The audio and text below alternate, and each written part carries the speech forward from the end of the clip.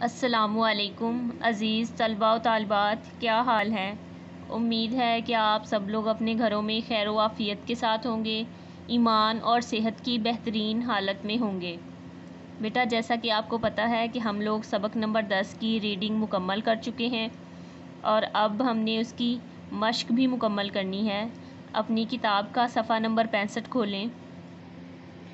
सफ़ा नंबर पैंसठ पे, सवाल नंबर आठ और नौ बाकी रह गए हैं। और हम लोग इससे पीछे मश्क मुकम्मल कर चुके हैं। सवाल नंबर एक से, सवाल नंबर सात तक मुकम्मल हल कर चुके हैं मश्क को। सफ़ा नंबर पैंसठ, सवाल नंबर आठ, मोरखा लिख लीजिए। उन्नीस मई 2021 सवाल नंबर आठ देखिए। सबक हाकी के मुताबिक दुरुस्त और गलत की निशानदही करें। नंबर अलिफ देखिए। अगर खिलाड़ी जानबूझकर गलती करे तो उसे खेल से नहीं निकाला जाता। ये बयान गलत है। नंबर बे देखिए। एशियाई हॉकी स्टाइल को नाकाम बनाने के लिए कवायद जवाबत में तब्दीलियाँ की गई। दुरुस्त नंबर जीम खिलाड़ी अपनी कमज़ोरियों पर काबू पाकर अगले मुकाबले के लिए तैयार हो जाता है। दुरुस्त। नंबर दाल, देखिए, हॉकी का आगाज़ लबनान से हुआ। ये बयान गलत है। नंबर है हॉकी का खेल 1910 में ओलंपिक्स में शामिल हुआ। ये बयान भी गलत है। सवाल नंबर नौ, देखिए, खेलों की अहमियत के मौजू पर मजमून तहरीर करें। खेलों की अहमियत, सवाल नंबर नौ। ये मजमून लिखना है बेटा, आपने खेलों की अहमियत पे।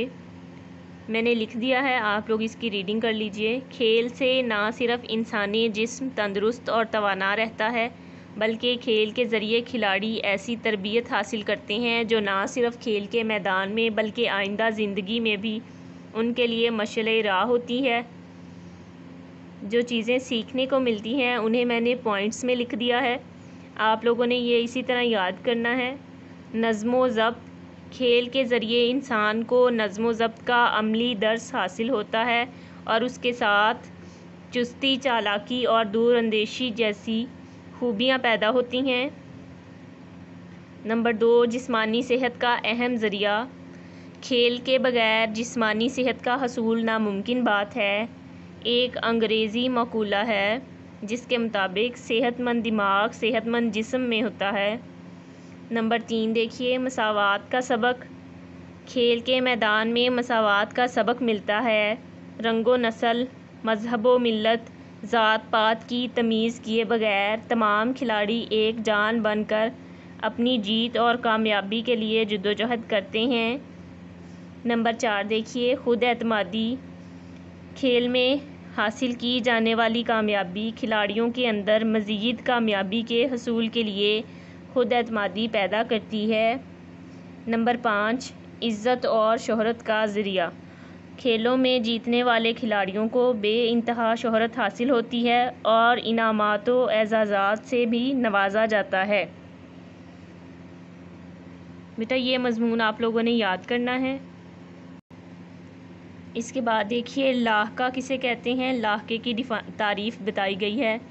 नए अल्फाज या नई तराकीब बनाने के लिए अल्फाज के आखिर में जिन हरूफ का इजाफ़ा किया जाता है, उन्हें लाहका कहते